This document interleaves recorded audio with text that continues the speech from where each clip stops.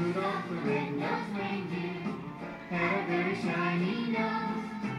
And if you ever saw it, you would even say it glows. All of the other reindeer used to laugh and call him names. They never let poor Rudolph join in any reindeer games. Then one foggy Christmas Eve, Santa Rudolph, with your nose so bright, won't you guide my sleigh tonight? Then have the reindeer him, as they shouted out with glee. Rudolph the red-nosed reindeer, you'll go down in history.